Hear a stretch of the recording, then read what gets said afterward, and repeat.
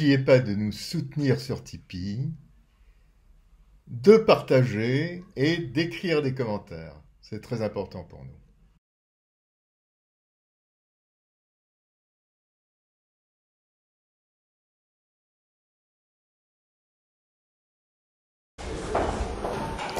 La crise ukrainienne au cœur d'une réunion d'urgence à l'OTAN. Avant même la rencontre entre les ambassadeurs des 28 pays membres à Bruxelles, le secrétaire général de l'Alliance Atlantique a donné le ton.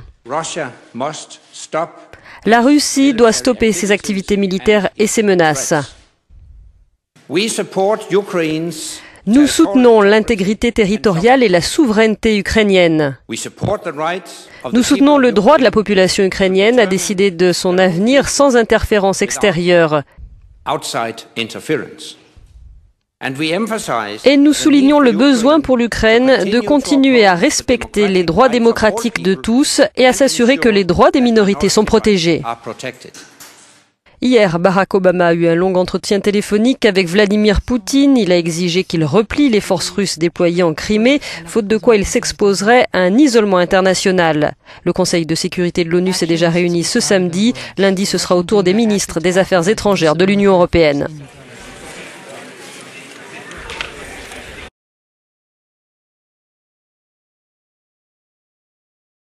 Alors, parlons un petit peu des provocations, euh, si on peut dire, euh, euh, vis-à-vis de la Russie. on a vu dernièrement et tout récemment l'exercice Anaconda, par exemple, qui, qui, tient vraiment à montrer la force du flanc oriental de l'OTAN vis-à-vis de la Russie. Il y a aussi cette rencontre qui est censée avoir lieu avec le président ukrainien lors de, lors de ce sommet. Ce sont tous un peu des, des, points qui, qui poussent un peu contre le mur la Russie aujourd'hui? Du point de vue russe, oui, clairement. parce que les Russes euh, s'appuient sur un accord qui avait eu lieu en 1997, selon lequel, je le cite, c'est l'acte fondateur autant Russie, il ne peut pas y avoir de stationnement permanent de forces de combat alliées substantielles à la frontière de la Russie. Or, aujourd'hui, l'OTAN considère qu'avec ce qui s'est passé en Crimée, cet, accord, est plus, ou moins caduque. Et donc, c'est pour ça qu'on veut déployer ces brigades, euh, dont Elena mm. parlait, dès 2017 dans euh, les pays baltes et en Pologne. Et pour la Russie, c'est une provocation, une rupture du contrat, entre guillemets, entre l'OTAN et la Russie après la fin de la guerre froide. Alors, euh, regardons un peu du côté euh, russe. On a beaucoup, beaucoup entendu parler euh, dernièrement Gorbatchev, l'ex-leader de l'Union soviétique. Lui, il estime, en gros, qu'il a été floué. Qu'après la chute de l'URSS, on lui avait promis des choses qu'on ne tient plus. L'Occident ne tient pas du tout sa parole. il rajoute, les États-Unis mènent toujours une politique visant à imposer la démocratie par les chars et les bombes. Gorbatchev.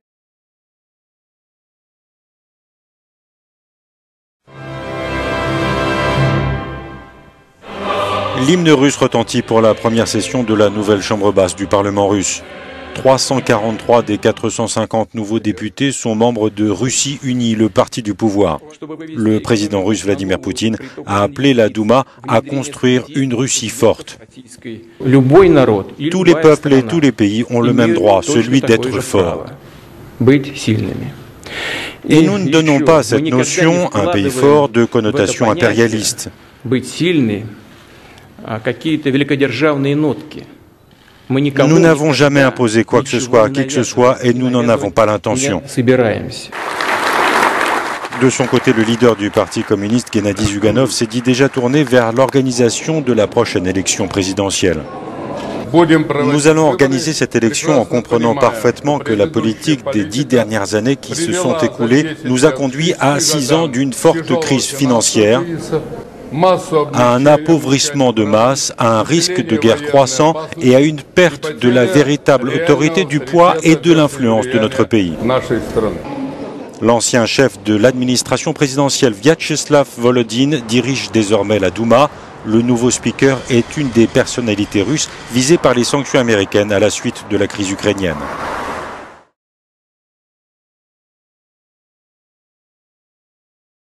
J'ai fait une grande carrière anticommuniste quand même, puisque je suis entré dans le métier en prédisant l'effondrement du système soviétique. Mais je trouve que ce qui a été fait à la Russie après l'effondrement paisible du communisme et la rétraction de puissance considérable de la Russie était simplement indigne moralement. Parce qu'en termes de solidité euh, intérieure et stratégique, la Russie est revenue à l'équilibre. C'est absolument clair que les Russes n'ont plus peur des Américains. C'est ce qu'on a vu euh, en Syrie. Parce qu'en fait, la russophobie, ça n'est pas parler de la Russie. Parler de la russophobie, c'est parler des Occidentaux. on est dans, avec la russophobie, on arrive dans le cerveau des Occidentaux. Pas du...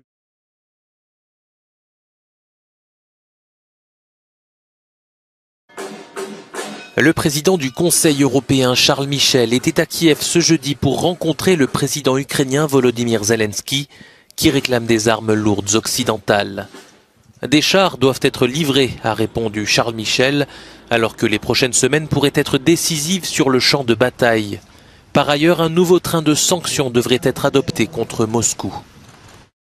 Il est certain qu'un dixième paquet de sanctions sera nécessaire et pour être clair, nous devons voir quels secteurs supplémentaires peuvent être visés, a déclaré Charles Michel. L'Ukraine réclame de l'Allemagne de lui livrer des chars Léopard. Selon la presse, Berlin serait prête à fournir l'Ukraine seulement si les États-Unis en faisaient de même. Ce vendredi, les ministres de la Défense des principaux pays alliés de l'Ukraine se réuniront en Allemagne autour du secrétaire à la Défense des États-Unis pour se coordonner. Les armes allemandes livrées jusqu'à présent ont fait leur preuve, a déclaré ce jeudi le ministre allemand de la Défense. Avec nos partenaires, nous continuerons à soutenir l'Ukraine dans son combat pour la liberté, l'indépendance territoriale et la souveraineté, a-t-il déclaré.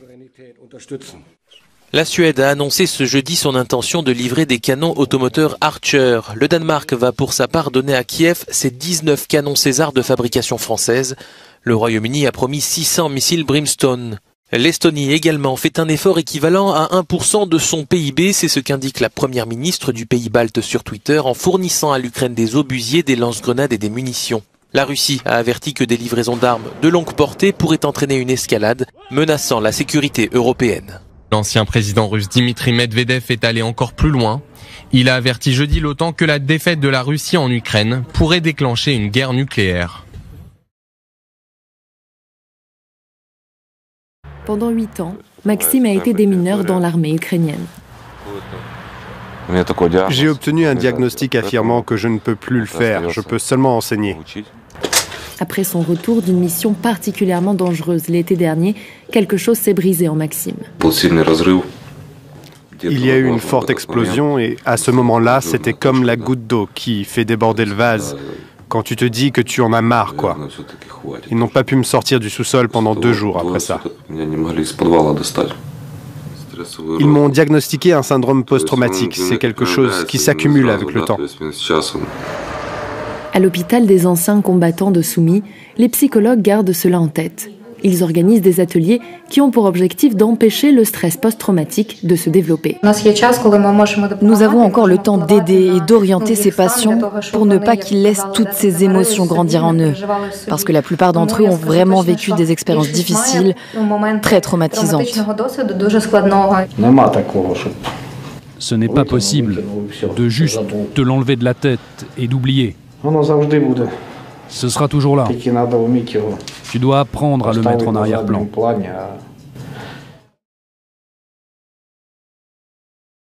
Alors c'est donc, il en sera justement euh, question lors d'une réunion entre pays européens et États-Unis aujourd'hui sur la base allemande de l'OTAN de Rammstein. L'OTAN espère convaincre euh, Berlin de livrer à Kiev ces fameux chars lourds Léopard 2, des chars d'exception. La Pologne et la Finlande en possèdent. Ils ont accepté d'en fournir à l'Ukraine. Mais pourquoi ces Léopard 2 sont-ils si convoités par Kiev? C'est le tuto de la rédaction d'Europe 1. Il est signé David Montagnier. Le Léopard 2 est l'un des véhicules de combat blindés les plus puissants au monde aux côtés du Leclerc français et du Challenger britannique. Développé par l'armée allemande au début des années 70, il mesure 11 mètres de long et dispose d'une autonomie de 450 km. Très mobile, il peut aller jusqu'à 60 km heure sur route. Grâce à son canon de 120 mm, sa puissance de feu jouit d'une excellente réputation au niveau international. Le Léopard 2 a déjà été utilisé sur trois théâtres d'opérations militaires au Kosovo, en Syrie et en Afghanistan. Depuis 2007, l'Allemagne a construit plus de 3200 de ces chars de troisième génération. Pour se procurer ce petit bijou de technologie, il faut débourser près de 7 millions d'euros.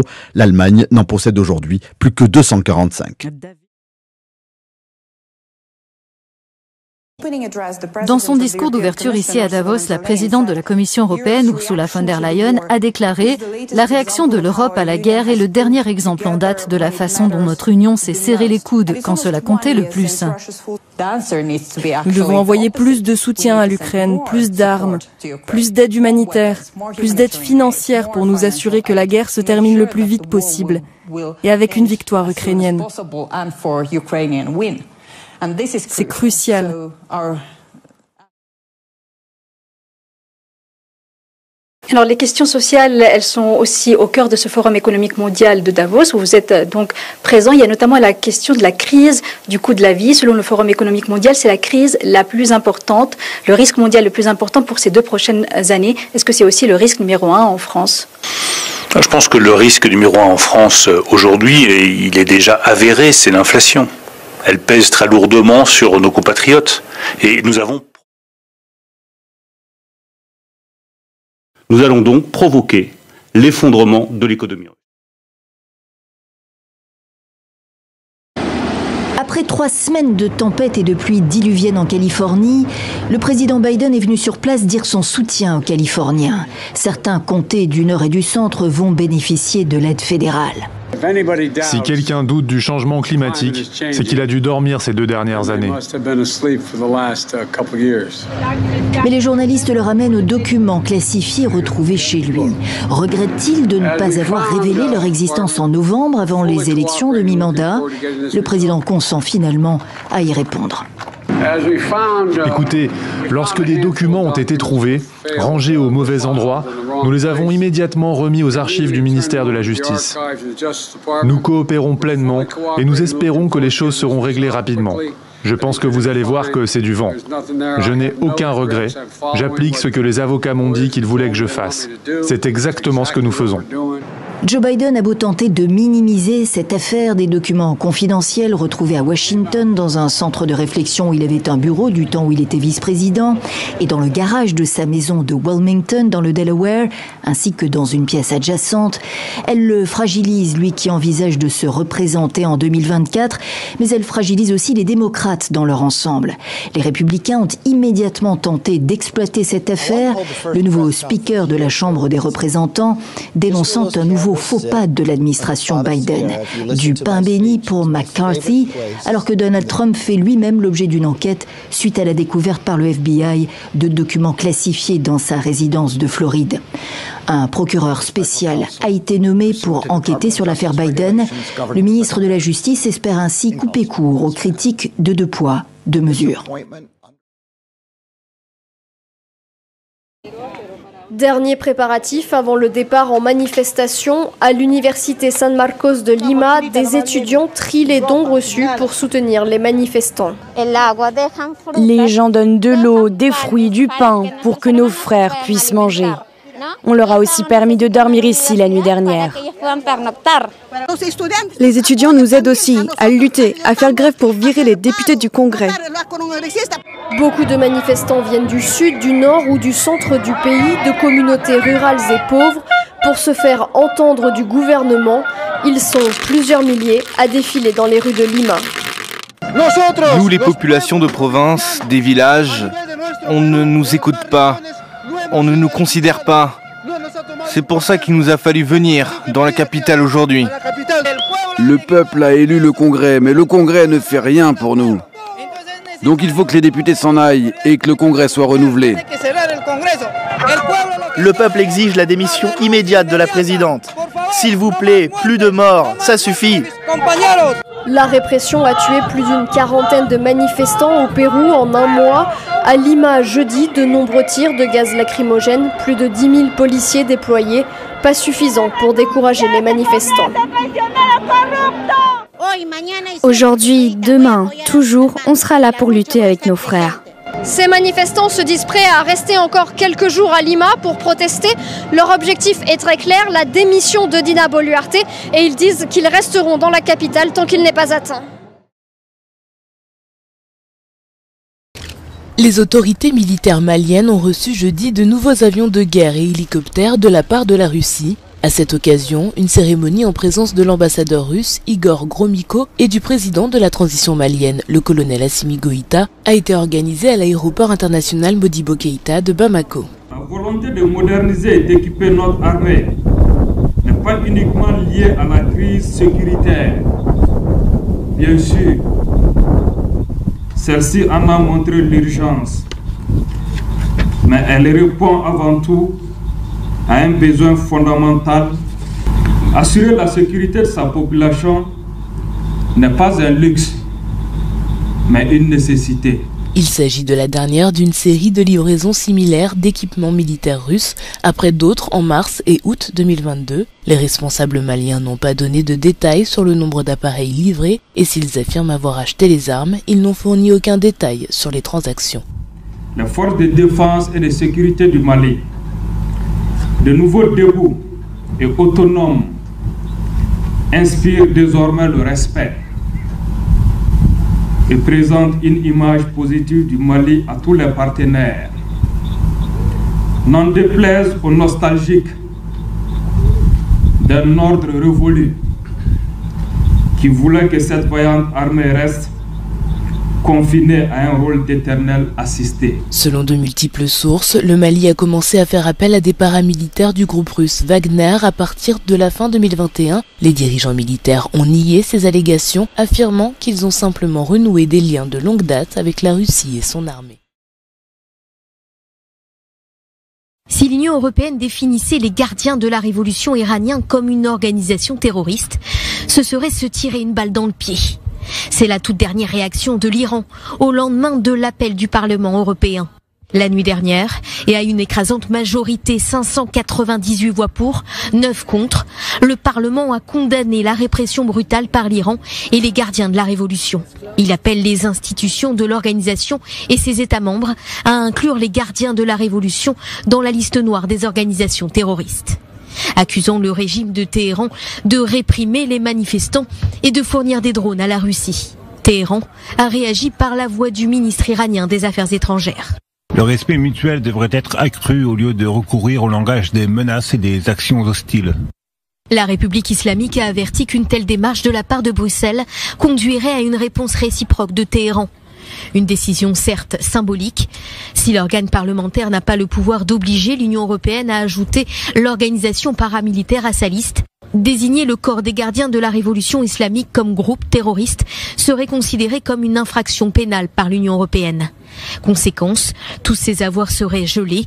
Plus aucun fonds de citoyens ou d'entreprises de l'Union européenne ne serait possible. Cette décision a été prise deux jours après une importante manifestation organisée devant le Parlement à Strasbourg. Des milliers de militants de l'opposition iranienne venus de toute l'Europe ont exigé de prendre des mesures plus dures contre le régime de Téhéran. En Israël, le vote du Parlement européen a été salué.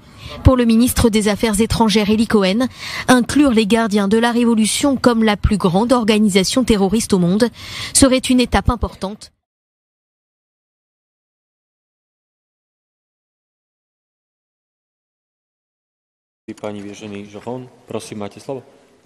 Merci, Monsieur le Président. Madame la Commissaire, la pénurie de médicaments en France est devenue ahurissante et je suis furieuse. Furieuse d'apprendre qu'Elena, 6 ans, est morte aux urgences à Montauban. Son père a confié à la presse, en 2023, perdre un enfant pour un antibiotique, ce n'est pas acceptable. En effet, ce n'est pas acceptable. Que font les big pharma qui passent leur temps à délocaliser, à spéculer et maintenant il faudrait défiscaliser pour, pour obtenir du paracétamol? C'est vrai, ils ont trouvé un bon filon. Négociation par SMS de milliards de doses de vaccins Covid.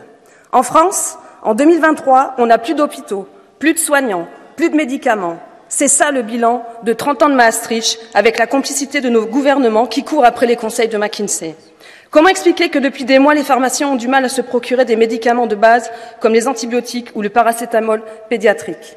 Pour la Commission européenne, l'Europe va s'en occuper, comme avec l'achat de milliards de doses de vaccins Covid que plus personne ne veut. Furieuse de voir qu'en même temps, on est obligé de jeter des milliers de vaccins Covid périmés. Il y a urgence. Aucun parent ne peut accepter cette pénurie. Des comptes seront à rendre. Il est encore possible de réformer les retraites en France. On en parle au lendemain de cette démonstration de force syndicale dans la rue. Comment ça se passe ailleurs? Direction les Pays-Bas. Le système de retraite néerlandais est considéré comme l'un des meilleurs, les plus performants du monde. Il est aussi aux antipodes, vous allez l'entendre, aux antipodes du modèle français. Bonjour Johan Tritz. Bonjour. Johan, vous revenez d'Utrecht et d'Amsterdam. Comment fonctionnent les retraites aux Pays-Bas? Alors c'est un système hein, qui repose sur deux piliers majeurs. Le premier c'est la pension de l'État. En fait c'est le régime d'assurance obligatoire, le système de retraite par répartition que l'on connaît en France avec un changement majeur. Tous les citoyens néerlandais qui partent à la retraite touchent au minimum 1800 euros par mois pour un couple et 1300 euros pour une personne seule, et même si ces personnes n'ont jamais travaillé. Et la personne hein, qui vient de parler, c'est Théo Langueyan. Lui, il gère l'un des principaux fonds de pension privés du pays. C'est le deuxième pilier du système, hein, la pension professionnelle, la retraite par capitalisation en soi. Chaque salarié verse un montant chaque mois à l'un des fonds de pension. C'est quasi obligatoire. Et en retour, ce salarié bénéficiera d'un montant jusqu'à 80% de son salaire lors de son départ à la retraite, ce qui assure un bon revenu. Et c'est ce mélange qui fait des Pays-Bas l'un des meilleurs systèmes du monde pour Théo Langueyan. C'est une bonne combinaison entre un système public et un système privé. Le fait qu'on ait ces deux piliers, cela permet une belle marge de manœuvre. Et grâce à ça, si l'on regarde les statistiques, il y a très peu de pauvreté dans le pays. Voilà, très performant, on l'a vu, 1300 euros minimum de pension, c'est donc mieux qu'en France. Y a-t-il tout de même un hic, Johan, dans le système néerlandais? Oui, alors pour euh, toucher ce revenu ainsi appétissant, il faut atteindre l'âge légal de départ à la retraite, fixé à 67 ans et 3 mois, un âge plus élevé qu'en France, mais calqué sur l'espérance de vie des Néerlandais, aujourd'hui de 84 ans pour les femmes et 81 ans pour les hommes. Plus les Néerlandais vivent vieux, plus la date est repoussée. Un système aussi pour équilibrer le nombre d'actifs et de retraités, et beaucoup plus juste hein, pour Théo Langueyen. Il ne faut pas regarder si cela est plus juste de travailler plus longtemps, mais plutôt quelles sont les conséquences si on ne fait pas ça pour les plus jeunes. Si on fixe la retraite à 60 ans, c'est possible, mais quelqu'un doit payer pour ça, car derrière les gens peuvent vivre pendant 30 ans. Et tout le monde comprend que l'on ne peut pas travailler que 30 ans pour financer une retraite qui durera 30 ans. c'est pile l'équation de notre actuel débat sur la réforme des retraites en France. Alors, est-ce que le système néerlandais, ce mélange hein, de, de répartition et de capitalisation, enfin surtout de capitalisation, est-ce que ça fait consensus aux Pays-Bas Johanna oui, entreprises, gouvernement et même syndicats, un travail main dans la main sur ce dossier et sans conflit, c'est aussi l'un des points qui fait que cela fonctionne bien. Et d'ailleurs, partout où je me suis rendu, hein, j'ai discuté avec des Néerlandais, tous largement satisfaits de ce système, même de travailler plus longtemps. Moi, je trouve ce système très bien. Ça ne me dérange pas de travailler longtemps, je travaille à l'école et je ne vois pas le temps passer. C'est un système simple, tout est écrit sur le contrat. On sait à chaque fois ce que l'on gagne, ce que l'on paye, ce à quoi on a droit. Tout est facile ici aux Pays-Bas. Moi, je bénéficie de la pension minimum. Je suis très contente de l'avoir parce que vous savez, je n'ai pas travaillé toute ma vie avec les enfants. On a moins de soucis à se faire.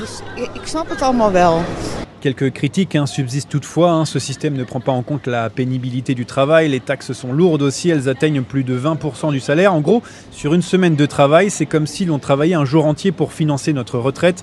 Et puis, euh, pour l'instant, les personnes ayant des emplois dits flexibles, hein, par exemple les chauffeurs privés, n'ont pas de fonds de pension, mais ça va venir. Le reportage aux Pays-Bas de l'envoyé spécial d'Europe 1 et Johan Tri.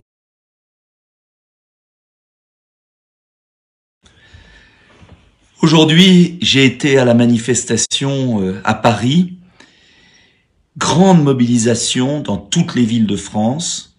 Et ce qui était intéressant, à Paris du moins, place de la République, c'est que c'était des gens, des Français, des Françaises, d'horizons très différents. Et il y avait une vraie fraternisation. J'ai vu des CGT m'applaudir, j'ai vu euh, euh, des électeurs bien à droite, j'en ai vu bien à gauche, euh, mais ils avaient tous la même détermination, le même sérieux. C'était le peuple français qui euh, avait conscience profondément qu'Emmanuel Macron était en train de détruire notre pays. Et s'il y a eu autant de monde, près d'un million de Français dans tout le pays, c'est bien parce que les gens ont compris le mépris, l'arrogance euh, de cet homme que je du mal à appeler président. Euh, au lieu d'être sur notre sol, il a fui en Espagne. Il a fui en Espagne euh, pour faire le petit roitelet. Euh, et il a osé, encore une fois, avec son arrogance et son mépris qui le caractérise, en fait son inhumanité, faire croire aux Français que la réforme des retraites était indispensable, qu'il était l'homme sérieux. Mais c'est curieux d'ailleurs, c'est que tous ces gens qui défendent la réforme des retraites, ce sont ceux qui défendent les retraites chapeaux des grands PDG à des millions d'euros, les bonus, il euh, n'y a pas un de ces grands euh, industriels, des grands hommes d'entreprise, des grands financiers qui euh, amputerait sa retraite de quelques euros. Et ça ne les gêne pas du tout de nous expliquer à longueur de journée qu'il est indispensable euh, que des personnes euh, aient une retraite qui va passer de allez 1400 euros à 1300, euh, que euh, telle personne va être au RSA entre 62 et 64. Ça, ça les... Ils s'en foutent complètement. Et ils continuent à nous donner des leçons de gestion. Mais ce sont les mêmes qui gaspillent 20 milliards d'euros par an dans 5 millions de fausses cartes vitales. Ce sont les mêmes qui versent 1 milliard de pensions de retraite par an à des morts en Algérie ou ailleurs. Ce sont les mêmes qui explose les rémunérations des fonctionnaires de Bruxelles, de Madame van der Leyen. Ce sont les mêmes qui donnent des milliards d'euros à la Turquie, euh, qui nous menacent en permanence. Euh, bref, c'est curieux. Euh, le peuple doit toujours souffrir, mais eux, ils peuvent gaspiller l'argent public comme ils veulent. Ce sont les mêmes qui ont dépensé 16 milliards, 16 milliards en tests, là, dans le nez. Euh, ce sont les mêmes qui ont acheté euh, des milliards de vaccins dont on commence à voir les effets indésirables. Je continue à demander une commission d'enquête pour des milliards d'euros sans compter, sans compter. Mais quand il s'agit de la retraite, de gens qui ont travaillé dur toute leur vie, sur les marchés, dans les usines, euh, dans les trains, alors là, hmm, il faut faire des économies. C'est indigne. C'est indigne. Alors, ce que je veux dire aussi, c'est que ça participe d'une vision malthusienne du pays, d'une absence de vision du pays. Car vous le savez, les retraites, c'est 350 milliards d'euros qui sont versés chaque année. 350. Il y a un excédent cette année de 3 milliards. Le comité d'orientation des retraites nous dit que peut-être dans 10 ans, il y aura un déficit de 7 milliards. Sur 350 milliards. Vous voyez la proportion. Ces 350 milliards, ils viennent des cotisations sociales sur l'emploi. Et ils vont dans des prestations. Alors, il y a deux solutions. Soit on diminue les prestations, c'est ce qu'ils veulent faire, pour qu'en 2030, on ait 20 milliards d'économies et peut-être pas de déficit. Soit on s'occupe de créer de l'emploi en France et de la richesse en France pour qu'il y ait plus de cotisations. L'enjeu, vous le voyez bien, c'est pas de réduire les pensions, ça c'est une démarche malthusienne, c'est une absence de vision. L'enjeu, c'est d'augmenter les recettes, c'est-à-dire de faire en sorte que les emplois ne filent pas à l'étranger.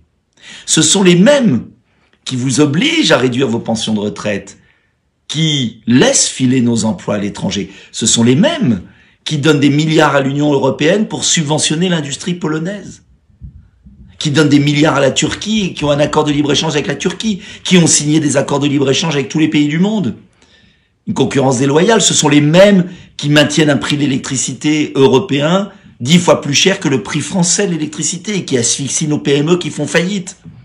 Alors la solution, je vous le dis, à court terme, il n'y a pas de problème de retraite. Et à moyen terme, il faut s'occuper des recettes. C'est tout l'enjeu de mon projet pour produire en France, pour relocaliser, pour baisser les charges des PME, pour aider à investir sur le sol. Moi, j'ai une vision à 50 ans de ce que je veux pour la France.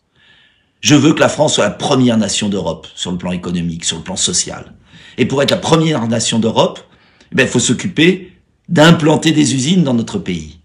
Et ça, c'est possible si on le veut. Mais pour ça, il faut s'en donner les moyens. Il faut baisser les charges sur les PME, il faut faire des économies là où il y a des gaspillages. Et puis après, il n'y aura aucun problème pour financer l'hôpital public, nos retraites. Occupons-nous des recettes, occupons-nous des dépenses pour la politique familiale, pour que les jeunes qui veulent des enfants puissent les avoir. C'est ça le défi. Alors vous voyez la différence entre euh, Emmanuel Macron et moi? c'est que lui, en fait, il est résigné. Il n'a pas de vision du pays. Nous, à Debout la France, nous avons une vision de la France. Nous l'avons forte et nous voulons la muscler. Et si elle est musclée, elle pourra aller loin. Voilà l'enjeu de cette réforme des retraites. Il y a ceux qui sont des Malthusiens, qui sont dans le déclin, et puis il y a ceux qui veulent construire l'avenir. Et il faut redonner confiance à la France et aux Français. Et c'est pas par cette réforme qu'on le fera. Hein. On a entendu hier euh, des slogans. Bonjour Guillaume Bigot. Euh, bonjour Patrick Roger. Bonjour. Euh, est-ce que le président de la République a d'abord eu tort de réagir depuis l'Espagne sur les manifestations? Bon, Patrick, je crois qu'on voit bien ce qu'il a voulu faire. Il a voulu se la jouer cool et, et serein. Général de Gaulle était en Roumanie lorsque la crise de mai 68 a éclaté, mais la crise de mai 68, elle, elle était imprévisible. Et je crois qu'un capitaine ne quitte jamais son navire lorsqu'il y a un avis de tempête. Il y a une une règle de politesse républicaine qui fait qu'on parle pas non plus de la France depuis l'étranger quand on a un chef d'État. Mais passons. de toute façon, qu'avait-il de si important à faire en Espagne? Signer un traité d'amitié avec un pays avec lequel nous sommes amis depuis des siècles, c'est pas seulement ridicule, c'est à mon avis une nouvelle tartarinade. Quant à son argument sur le fait qu'en votant pour lui, les Français avaient adoubé sa réforme, je crois que c'est une autre provocation. D'abord, le président fait semblant de ne pas comprendre 42% des Français ont voté contre lui, donc contre sa politique. 28% des Français sont abstenus au deuxième tour. C'est un record d'ailleurs. Et il fait aussi semblant de ne pas comprendre qu'une partie de ses électeurs de deuxième tour étaient autant contre sa réforme que contre Marine Le Pen. Et pendant sa pseudo-campagne, Patrick Macron mmh. a d'ailleurs été très allusif sur le sujet des retraites. Lui-même ne savait pas quelle réforme il allait faire. Et puis le meilleur procureur contre la réforme Macron, c'est Macron lui-même, je le cite. Beaucoup ne vont pas jusqu'à 62 ans, on va pas les faire bosser plus longtemps. Ouais. Bon, mais pourquoi le président pense-t-il pouvoir imposer tout de même aux Français une réforme dont, bah, globalement, on voit qu'ils ne veulent pas forcément, quoi. Hein?